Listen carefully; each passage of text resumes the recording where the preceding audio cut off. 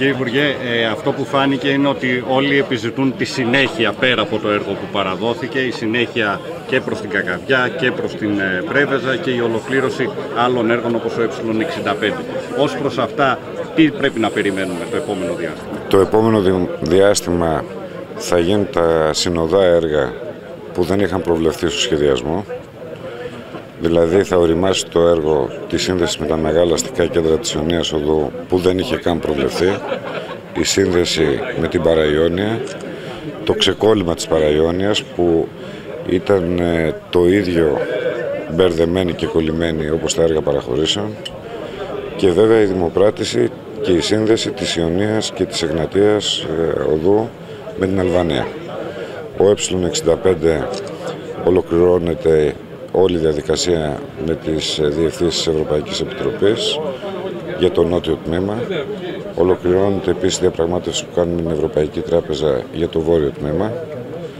Όσοι βγάλαν αυτά τα τμήματα έξω από τις παραχωρήσεις να πάρουν τις ευθυνές τους και να απολογηθούν. Και βέβαια έχουμε να ολοκληρώσουμε και άλλα έργα, μικρότερα έργα στις, στην περιοχή, στη Δυτική Ελλάδα, που βοηθούν στην παραγωγική ανασυγκρότηση στη δίκαιη ανάπτυξη. Τα έργα υποδομών δεν είναι μόνο αυτοκινητόδρομοι.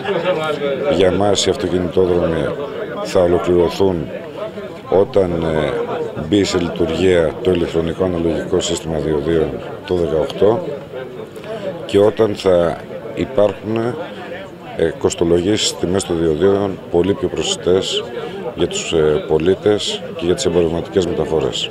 Και αυτό είναι αρκετά κοντά.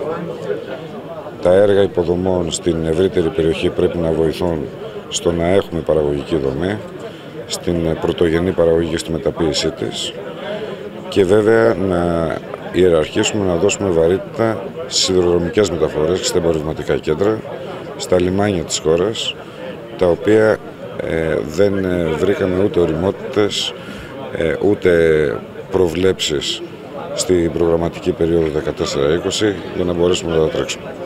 Άρα πρόσθετα με τα έργα που έχουμε οριμάσει, έχουμε τρέξει για να οριμάσουν, πρέπει να φροντίσουμε να βρούμε και χρηματοδότηση, πρόσθετη χρηματοδότηση και τα υπόλοιπα έργα υποδομής. Κύριε Υπουργέ, λίγο σε σχέση με τα διόδια υπάρχουν έτσι μια σειρά από αιτήματα από τοπικούς φορείς, από δημάρχους γενικότερα. Ε, πότε θα είστε σε θέση να, να κάνετε κάποιες. Κοιτάξτε, με ο στόχος που έχουμε. Καταρχάς, ε, ισχύουν οι συμφωνίες που έχουμε κάνει με τους παραχωρησίους σε όλη την Ελλάδα για τις ε, ειδικές κατηγορίες των συμπολιτών μας που χρήζουν βοήθειας που κάποιοι από αυτούς, κάποιες ομάδες από αυτούς έχει συμφωνηθεί να περνούν ελεύθερα. Έχει συμφωνηθεί σε περιοχές που δεν υπάρχει εναλλακτική ε, διαδρομή, εναλλακτική ασφαλής όδευση να υπάρχουν δωρεάν προσβάσεις και να υπάρχει και ειδικό τιμολόγιο για τους καθημερινούς ε, συχνούς χρήστες με πολύ μεγάλες εκπτώσεις. Η λύση όμως κατά τη γνώμη μας δεν είναι αυτή. Πρέπει να μπει το ηλεκτρονικό αναλογικό σύστημα, να είναι και δίκαιη η χρέωση, αλλά να βοηθήσει και σε μια διαπραγμάτευση που θα ξεκινήσουμε για την επέκταση των έργων παραχώρησης και σε χρονικό επίπεδο αλλά και σε επίπεδο φυσικού αντικειμένου για να γλιτώσουμε χρονοβόρες διαδικασίες, να το εκμεταλλευτούμε αυτό και να έχουμε ε, πραγματική ουσιαστική μείωση της χρέωσης ένα χιλιόμετρο.